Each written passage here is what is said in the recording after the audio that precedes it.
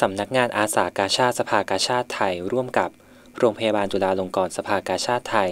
และคณะแพทยศาสตร์จุฬาลงกรณ์มหาวิทยาลัย จัดโครงการการประกวดผู้สูงวัยสุขภาพดี ประจำปี 2562 ครั้งที่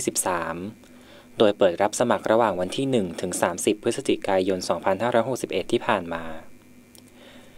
โดยในวันที่ 9 มกราคม 2562 มีการตรวจร่างกายผู้สูงอายุที่เข้าร่วมการประกวด ณอาคารสอทอชั้นหนึ่งโรงพยาบาลจุฬาลงกรณ์สภากาชาติไทย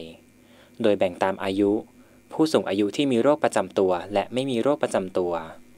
โดยมีการตรวจการมองเห็น การได้ยิน การตรวจร่างกายทั่วไป และสุขภาพจิต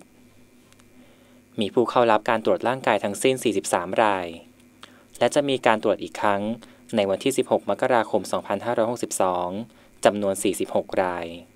ผู้ชนะการประกวด จะได้รับโล่พระราชทาน สมเด็จพระเทพรัตนราชสุดา สยามบรมราชกุมารี อุปนายิกาผู้อำนวยการสภากาชาติไทย ในวันที่ 13 มีนาคม 2562 วีระวงศ์สวรำถ่ายภาพ ชิตพลเพ็ญสุภารายงาน